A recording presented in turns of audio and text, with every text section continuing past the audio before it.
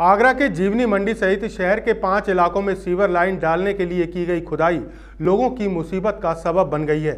एक साथ शहर की इतनी सारी सड़कों को खोद दिए जाने पर हज़ारों की संख्या में लोगों को रोज़ाना परेशानी का सामना करना पड़ रहा है। एक बार फिर आगरा शहर की सड़कों पर वाहन चलाना दुर्भर हो गया है। शहर में पाँच स्थानों पर सीवर लाइन डालने के लिए जल निगम ने खुदाई शुरू कर दी है, जिससे वाहनों और राहगीरों के साथ दुकानदारों और क्षेत्रीय लोगों की मुश्किलें काफ़ी बढ़ गई है। संबंधित विभाग और सरकारी अफसरों की कार्यप्रणाली को देखते हुए ऐसा लगता है की जनता को इन सभी दिक्कतों का भी और सामना करना पड़ेगा। गौरतलब है की जीवनी मंडी क्षेत्र में पानी और सीवर की समस्या काफ़ी समय से बनी हुई थी, जिसको देखते हुए जल संस्थान द्वारा पानी और सीवर की पाइपलाइन डाली जा रही है, जो कार्य 1 अक्टूबर तक पूरा होना था। लेकिन काम इतनी धीमी गति से किया जा रहा है कि लगता है क्षेत्रवासियों को अभी कुछ दिन और दिक्कतों का सामना करना पड़ेगा। वहीं सिंगल रोड होने के कारण वाहन चालकों को भी काफ़ी दिक्कतों का सामना करना पड़ रहा है। जल निगम के द्वारा जो कार्य किया जा रहा है, एक तो पहली बात तो बहुत धीमी गति से किया जा रहा है।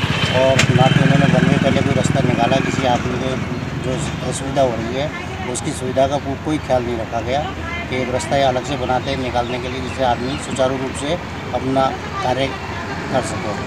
और बहुत ही धीमी गति से कार्य हो रहा है यहाँ पर और इसे जल्दी से जल्दी सुचारू रूप से कार्य शुरू करें। अब देखने वाली बात यह है कि जहाँ एक तरफ़ आगरा शहर को स्मार्ट सिटी बनाने के लिए कहा जा रहा है, वहीं दूसरी ओर हमारे शहर की सड़कों की हालत कुछ और ही बयां कर रही है। टूटी सड़कें, यह तो हाल है आगरा शहर का।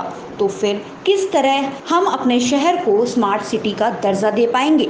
हम मौजूद हैं समय जीवनी मंडी क्षेत्र में यहाँ पर कि लोगों के लिए पानी की समस्या काफ़ी विकराल रूप ले चुकी है, जिसको दूर करने के लिए जलकल द्वारा पानी की पाइपलाइनें भी डाली जा रही हैं। आप देख सकते हैं कि यहाँ पर की जो पानी की पाइपलाइन जलकल द्वारा डाली जा रही हैं, उस कार्य को कितनी धीमी गति से किया जा रहा है।